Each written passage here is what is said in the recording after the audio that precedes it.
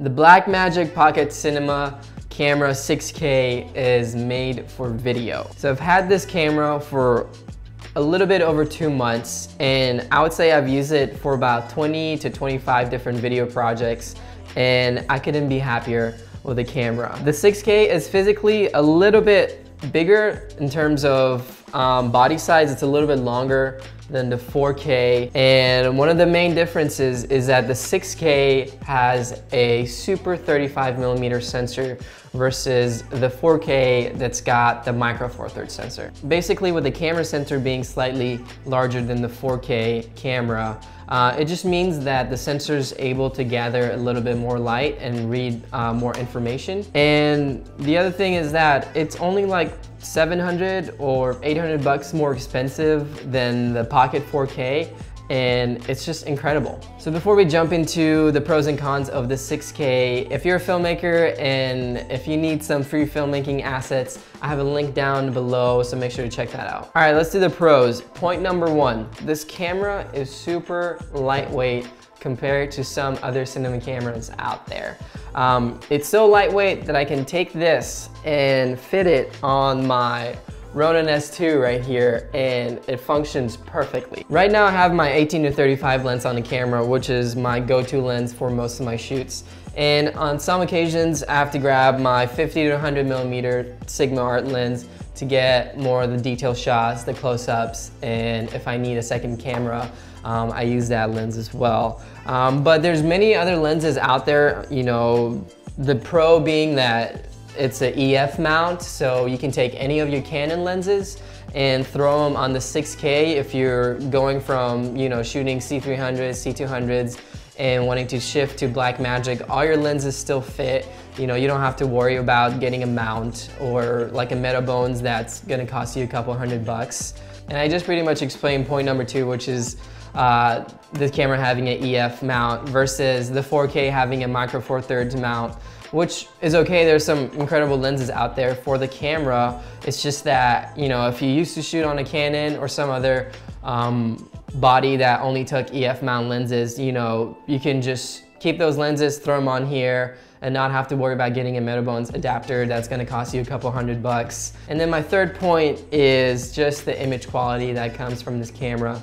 You know, you can shoot in RAW 12-bit or ProRes 10-bit, and your image just looks incredible. You know, with 13 stops of dynamic range, the colors in this camera are incredible. You know, they're realistic, they're vibrant, and they're very flexible in post. So whatever you shoot in log or raw mode, you know, you can totally tweak um, everything in post. Uh, my previous camera, my Sony camera, only shot in 8-bit and the coloring that footage can be really difficult sometimes, but I haven't had an easier time with any other camera than this camera. Uh, you know, coloring the footage, um, super easy, throwing a Rec 709 that just brings all the vibrance and all the colors back to your image. And here are a couple of clips that I think the colors look pretty awesome, so check them out.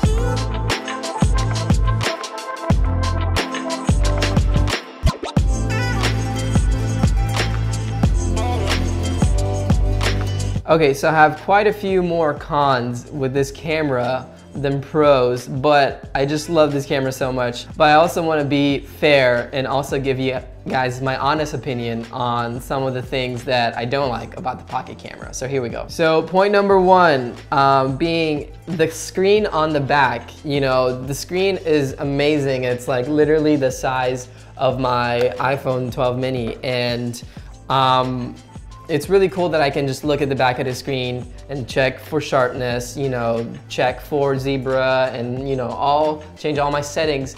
But the con is that the screen is just stuck to the camera. You can't flip it, you can't turn it, you can't do anything with it. So when you're operating on a gimbal, or let's say if you're trying to do a shot that's a little higher, you need to have some kind of off-screen monitor some kind of live feed um, that will show you what the shot looks like uh, to make sure your colors are good, you know, zebra's good, all that stuff. So I wish that this camera had a screen and I know there's a screen you can buy online, but that's gonna cost like 300 bucks. I wish it would just come with the camera. Point number two being that the 6K camera can only shoot up to 50 frames per second. Now 50 frames versus 60 frames per second is not that different, but I wish that there were some, you know, higher frame rates that I could shoot with this camera like, you know, if there's 120 frames per second, 200 frames per second, even if it was, you know, maybe in 4K or 2K,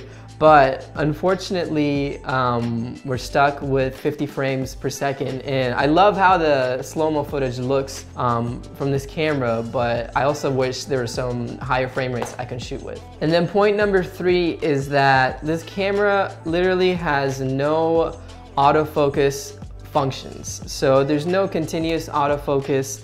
The only autofocus function that works maybe one out of, you know, five times is a little button on the back that just basically focus focuses on the center point of the shot. You can't really tell it to focus on somewhere else in the frame. All it does, it just takes a few seconds to focus and the few, you know, the focus is always in and out, in and out, in and out, and then it finds focus sometimes. So I definitely wouldn't rely on this camera if you're looking to purchase something with autofocus um, capabilities, like you know a new Sony camera or one of Canon's cameras. Um, but that hasn't been much of an issue for me. I wish there was an autofocus thing because I've had scenarios where I could rely on it. Um, but for now, we're stuck with manual focus. And then another thing that I wish uh, the Pocket 6K had was maybe one or two more little red light indicators while you're recording um, just for you to know that, you know, you're still recording. Um, sometimes, you know, if you're shooting an interview or if you're on your gimbal um, and I can't view my screen, you know, because I'm shooting a higher shot or going for like a suitcase mode. It's hard for me to know if I'm still recording unless I like lean over and have to look at this indicator light right here or have to look at my screen and look for this little red button and make sure that I'm still rolling. So I wish maybe there was something up here in this area or like somewhere on the top of the camera. When I press the record button, I'm able to kind of, you know, know that I'm still recording and that I don't have to be worried that I'm not, you know, because I've had, you know, scenarios where this is uh, with an SSD that I bought and um, it just wasn't working. Like it wasn't uh, recording any of the data, any of the footage that I was trying to record into it. And then one time it started recording and I was like, oh, okay, I wonder what happened. It, I hope it got fixed. And then I just kept recording and then there's a couple of stops um, during, the um, during the shooting. And then when I went to check the footage, there was um, no evidence of any of the things that I had recorded, even though I thought I was recording because it was working earlier. So one of the things that would have helped was just to have some kind of indicator light up here to kind of remind me that, oh, I'm rolling or, you know, because if I'm rolling and it's not recording to the SSD, the camera automatically doesn't roll. The last thing that I wish the Pocket 6K camera had was IBIS, uh, in-body image stabilization. You know, working with Sony cameras and GH5S and some other Canon cameras, um, sometimes the lenses even come with some IBIS. Shooting handheld with this camera um, doesn't always look the best just because there's no sort of image stabilization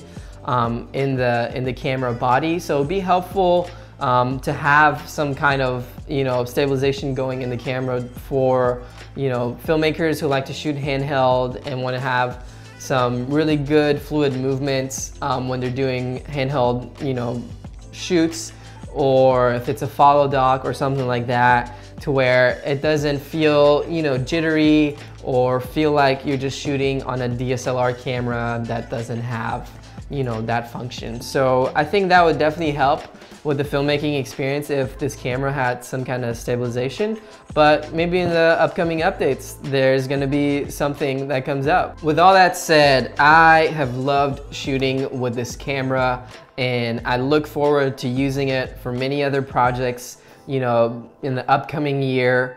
And I've just been really happy with the results uh, so far. And I just wanted to share with you guys um, some of the footage that I've shot over the past two months and to let you guys know, you know, it's a good camera, but if you have any other cameras that you think are better around this price point, please comment below, give me your honest feedback, and I would love to hear that. Well, thanks again for taking some time to watch this video, and I hope you guys are doing well, and I'll see you guys soon.